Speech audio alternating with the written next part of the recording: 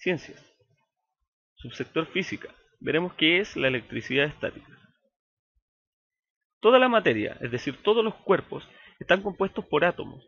Los átomos son pequeñas partículas que unidas unas con otras forman lo que nosotros conocemos como materia.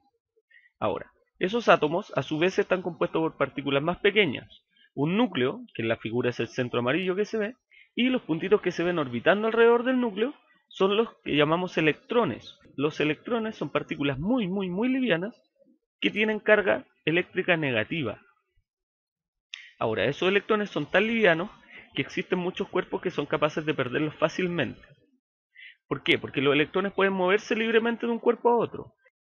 Esos electrones que se pueden mover libremente son los que se conocen como electricidad estática, que como su nombre lo dice, no se mueve, a menos que nosotros induzcamos a moverse esos electrones. Por ejemplo, en la imagen vemos que si acercamos un cuerpo positivo, lo que hace este, por, por atracción de cargas, es atraer los electrones. Esos electrones se movieron libremente. Ahora, los electrones pueden pasar de un cuerpo a otro. ¿Han notado que cuando frotamos una peineta en la manga del brazo, esta peineta puede atraer papeles? ¿O han notado que cuando nos frotamos un globo en la cabeza, este globo atrae el pelo?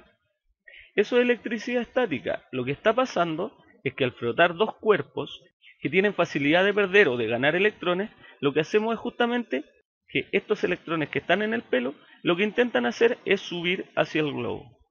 Esa electricidad estática se produce gracias al frotamiento. ¿Han notado qué sucede cuando nos acercamos al televisor? Uno siente que los pelos se erizan, ¿verdad?